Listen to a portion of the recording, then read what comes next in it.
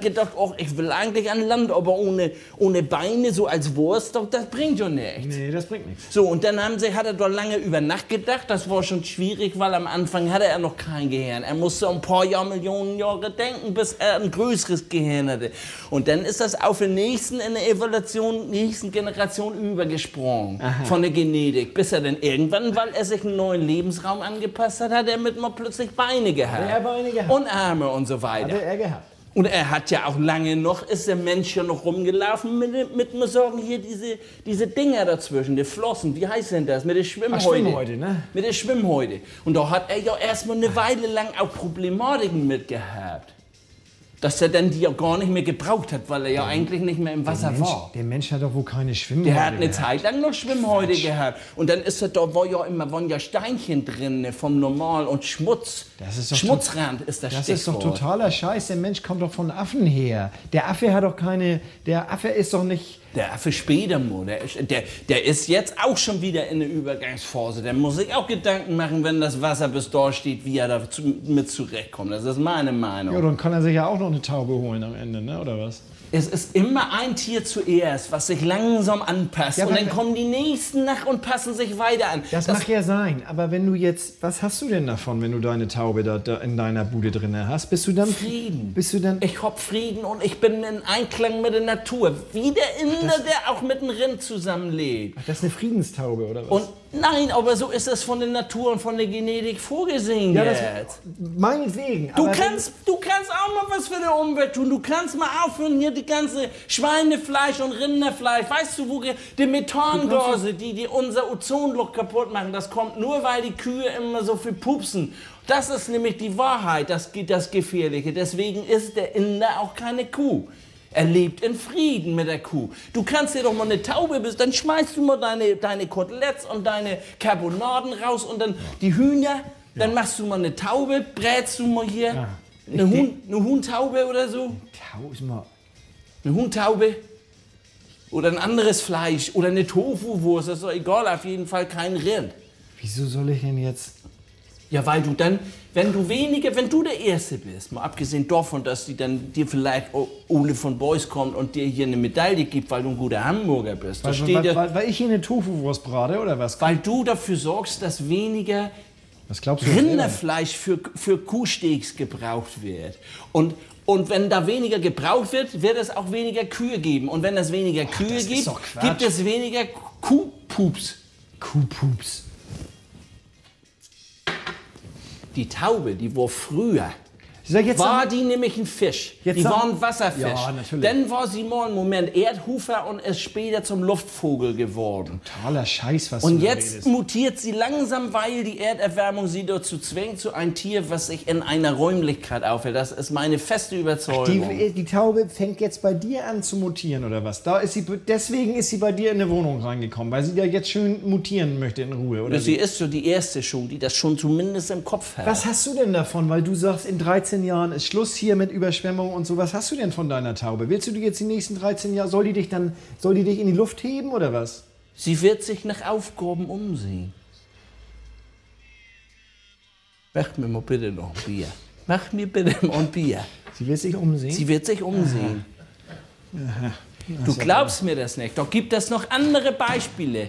In, in New York haben sie jetzt gerade einen drei Meter großen Biber, glaube ich, oder war vielleicht auch nur ein Meter, aber der ist bis nach New York durchgeschwommen. Weil der auch von der Evolution schon, muss sagen, die Info in der Genetik weitergetragen bekommen hat, dass da in ein paar Jahren alles unter Wasser steht. In der Bildzeitung stand, dass New York und London steht alles unter Wasser durch die Erderwärmung. Und der Biber, der ist ja ein Fuchs. Der geht ja auch schon los und sucht sich jetzt schon mal gleich eine neue muggelige Bude. Und wenn du da jetzt muss sagen, hier in New York, da gibt's ja super Häuser und alles, die stehen aber irgendwann unter Wasser. Dann macht er sich jetzt, ist er der Erste, der sich doch schon mal ein Apartment klar macht. Ach, er zieht da schon mal ein oder was? Auf, auf, auf lau oder was? Ja, er macht das sich schon mal klar. Er guckt sich schon mal um und sagt der anderen Biber Bescheid. Ach so. Ruft er die anderen, sagt hier, ich habe eine schöne In der Wohnung. Bibersprache, man. In der Bibersprache. Ach so. Und jetzt hier genauso gibt es auch, ist doch jetzt hier, hier, hier Stumpi. Hast gelesen, Stumpi? Stumbi? Stumpi jetzt. Nee. Da ist so eine Ende auf die Welt gekommen. Hier irgendwo, weiß ich nicht, mit vier Beine. Im Ernst? Ja. Vier Beine? Ja. vier Beine. Nun kommst du. Die geht mit vier Beinen? Eine Ente, vier Beine. Und die gehen auch bitte, alle, oder was? Bitte, die gehen alle. Die gehen alle? Die Ente geht und jedes einzelne Bein von der Ente geht auch. Fünfmal gehen. Wieso fünf? Die Ente und die vier Beine. Ach so, ja. Vier und eins ist aber bitte noch fünf. Ja, die Ente geht ja wohl nicht ohne die Beine. Das ist ja, dann sind das ja nur Das vier. ist so eine Mechanik, genauso wie die Verdauung. Du sagst ja auch nicht dauernd, ich muss jetzt mal verdauen. Das macht ja der Bauch selber. Was hat das denn mit den Beinen zu tun? Aber es ist eine Automatik. Es ist eine reine Automatik. Es ist ja völlig egal. jetzt Ente mit ja, die hat vier Beine. Und meine Meinung ist, dass das daran liegt, weil ich jetzt hier Kyrill ist ja auch eine Auswirkung gewesen von der Erderwärmung und von der Klimakatastrophe, die Stürme und so weiter. so, ja, ja. Das sind doch die Enten mit zwei Beinen, die hatten doch keine Chance. Die sind doch reihenweise umgefallen. Ach, du meinst, dass sie jetzt vier Beine haben, damit sie besser stehen können, Im oder Wind, was? damit sie besser im Wind stehen. Das glaube ich wohl. Das war doch jetzt auch schon auch in der Bildzeitung. Das ist doch alles kein Zufall, das hängt doch alles miteinander zusammen. Da ist doch jetzt ein kleiner Junge geboren worden, der hatte sechs Finger an jeder Hand. Zwölf Finger hat er gehabt.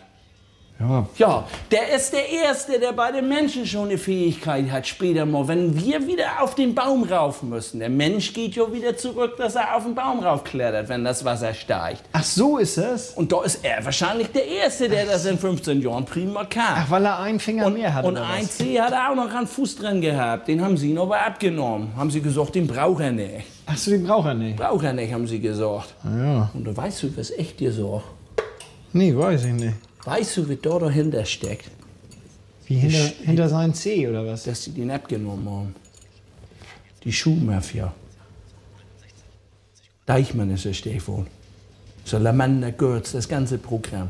Die wollen, die wollen nicht, dass sie ihre Schuhe umändern müssen, wenn jetzt die Menschen mehr Füßzehen haben. Die Menschen kriegen doch jetzt nicht von heute auf morgen. Du machst doch Dann nicht. wird das nicht der einzige doch- geblieben sein. Das ist genauso wie damals, wo der Mann diesen Luftwassermotor erfunden hat. Und da haben die, haben die Leute von der Ölindustrie, haben sie ihnen das immer alles verboten, damit sie schön ihr Benzin verkaufen. Luftwassermotor. Was für ein Luftwassermotor denn? Ja, wenn, wenn Wasser zu Luft wird. Ach, Sau, äh, äh, äh, äh, hier Wasserstoffantrieb oder was meinst du? Wasserstoff. und ne? Rapsöl und so weiter, das gibt schon ganz lang. Ja, das ist ja wohl was anderes. Ja.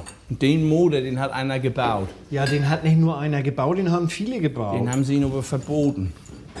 Der ist doch nicht verboten. Und nur deswegen haben sie ihn nicht. Knut. Mahlzeit. Abend. Hallo. Na, Ditchi. na. Grüß dich. Na, wie geht das? Oh, gut, vielen Dank. Alles in Ordnung soweit? Oh, alles, alles Paletti, wie man sagt. Alles Paletti? Was kann ich denn tun für dich? HSV hat auch gewonnen, ne? 3-1, ne? Hat gewonnen? Ja, du tun wir nicht so, als wenn dich das interessiert. Du Wieso freust du dich denn gar nicht? Ich freue mich wie ein Weltmeister, aber ich will die Siehst? Begeisterung ein bisschen runterhalten, weil ich muss sagen, erst muss sie, dass sie nicht absteigen. Und da haben sie noch, Hub, Hub Stevens hat gesagt, erst mal werden, wir haben noch nichts gewonnen. Weil das geht darum, dass wir nicht absteigen. Und wir werden nicht absteigen, weil ich möchte nicht sehen, dass im Stadion drinnen die Uhr, wo steht so und so viele Jahre, ich weiß gar nicht wie viel, 43, 45, irgendwas, ne? Oh, seit Lange, ne? 63, ne? 44 Jahre? Ja, ja. So, es ist eine Uhr im Stadion drin, eine 44 Jahre, so und so viele Tage, Wochen, Stunden, Minuten, Sekunden. Ist eine, ist eine ewige Uhr. Das möchte ich nicht erleben, dass die Uhr stehen bleibt. Ach so, wo die Zeit, dass sie in der, in der Bundesliga drin sind. Der einzige Verein, der von Anfang an in der Bundesliga ehrlich gespielt. Ja, ja, Von allen? Von allen. Deswegen haben wir als jetzt? Maskottchen Dino. Du kannst ja auch gehört, dass du den Zusammenhang nur verstehst. Ne? Was für ein Dino jetzt? Ja, das ist ihr Maskottchen, genauso wie die Kölner den tauben Geisbock haben. Wieso, die haben doch hier so eine, so eine, so eine das ist doch, der HSV ist doch mit so einem, mit so einem Dings. Oh, das ist die So- Raude, so- das so ist das. Zeichen. Es ist das Zeichen, aber doch nicht das Maskottchen. Ja, ja, gut. Kann doch wohl nicht wahr Was sein. möchtest du denn nun, Knut? Ja. Ich muss ja irgendwas essen. Die Familie hat heute Senfeier gegessen, da stehe ich nicht so Drauf. Nimm mal so ein Schnitzel, das sieht aus. Kannst du das Schnitzel mal kannst das zeigen? Weißt ja. du was? Das Schnitzel. sieht nämlich aus Ist das, ist das ein Wiener Schnitzel oder? Das ist wie eine Art. wie eine Art. Wiener Haar. Schweinefleisch also Schwein. ist das, ne? Oh. Aber das ist sehr lecker. Aber er hat es offiziell bestätigt, also kann man ihn nicht des Betrugs überführen. nun, du bist Ja, Moment, macht hast mal einen Moment Das Pause. macht er ja nicht, dann würde ich ja gar nicht wieder herkommen. Schnitzel dann und was wir mal, bei? Machen wir mal so einen Schnitzel und dann, ja, den Speckkartoffelsalat. Speckkartoffel? Jo. Nicht lieber hier Gurkensalat, sag Der mal. muss weg, ne? Da ist das Mayonnaise. Das stimmt doch, den habe ich ganz frisch gemacht. Ich meine nur, Du weil kannst das mir ja eine so- kleine Portion davon mit drauf tun und dann probiere ich das mal. Ich kann ja halb und halb sonst. Ich meine, weil nachher viele- mache ich- nachher mache ich das nee, ja nicht. Nur weil viele äh, essen gerne äh? Schnitzel mit, mit, dem, mit, dem, mit, mit, der, mit dem ja, Gurkensalat. dann mache ich das. nur, ich will dich jetzt nicht. Wenn er wenn er nicht schmeckt, gibt es eine aus. Ja, Da habt ihr Kannst du sicher sein. habt ihr Probleme. Die Welt geht unter und die Erde erwärmt sich und ihr redet Ja, darüber, ob den soll oder er, hat, den. er hat eine Erderwärmung und er hat jetzt eine Taube. Stern in der Bildzeitung in 13 Jahren ist finito kaputt. dann ist vorbei. Aber er sagt, er hat hier, pass auf, das ist das Neueste jetzt bei Ihnen. Er Taube. Hat, er hat eine Taube jetzt im- Friedenstaube wohnt bei mir zu Und Hause. deswegen ist bei Ihnen alles, hat er kein Problem. Weißt du was? Warum weiß ich Mach auch du nicht, aber bitte, weißt du was? Ne? Weißt du, was ich gerade festgestellt habe? Die ganzen Tiere verändern sich. Doch die Koala- Koalabären, ne, die werden doch jetzt gerade auch mit dem Flugzeug eingeflogen. Wie eingeflogen im Flugzeug. Ja, weil die nicht mehr sich vermehren. Die sitzen doch da und essen Pfefferminz und so. fallen dann irgendwann tot vom Baum. Zoo. Ja, und jetzt das werden die nach ganz Duisburg Ordnung. und noch irgendwo anders hin. Und ich habe mir gedacht, die könnten doch jetzt auf dem Flughafen arbeiten. Da habe ich in der Bildzeitung gelesen, da gehen jeden Tag, ich weiß nicht wie viele Tonnen Zahnpasta, ne? Gehen, gehen da in Müll, weil die Leute dann das dann nicht mehr mit an Bord nehmen mitnehmen, dürfen. ja, So. Und jetzt kannst du doch den sagen, nehmen, der schnüffelt das raus, als Schnüffelkoala. Der schnüffelt das Pfefferminz raus und dann kann der das erstmal schön essen und sich besser vermehren, weil er dann gekühlt ist. Ne? Pfefferminz kühlt doch. Ja, aber dann werden ja die Spürhunde arbeitslos. Ja, die können ja weiter nach Drogen und so weiter, ist ja egal. Aber ich habe das nämlich mal ausprobiert. Das ist auch eine gute Idee. Pfefferminz kühlt doch, ne? Ja, ja. Das kennt man. Wenn man eine Wunde hat, macht man da Zahnpasta auf und dann kühlt das. müsst mitnehmen, ne? Ja. Jetzt könnte man doch die ganzen tonnenweise Pfefferminz, die die da jetzt mit den Zahnpastatuben da irgendwer auf dem Flughafen zusammensammeln, das kann man doch in die Schweiz bringen und da auf die Berge auflegen. Dann kühlt das Sieht die aus wie- Berge. sieht aus wie Schnee. Ja, aber es kühlt ja auch gleichzeitig. Dann kann man doch Ski laufen. Ich Was hab willst du das einen Berg mit Pfefferminz kühlen oder was? mit Zahnpasta, das geht. Ich habe das zu Hause ausprobiert. Ich habe so. ich hab aus, aus einer Teewurst ein Männchen gebaut und den, mal sagen, auf eine Klorolle ausgeschnitten und auf so zwei Capri-Eisstiele praktisch aufgeklebt, dass das aussieht wie ein kleiner Skiläufer. Und dann habe ich da bei mir schön Zahnpasta eine Läube auf die Badewanne aufge und hab das da runterrutschen lassen. Das Das, ging funktioniert. 1A, ne? Du, du musst das gerade, ich habe extra nichts Ja. drüber gemacht, musst Ja, das gerade ja, halten, das ne? ich, dass da nichts raus äh.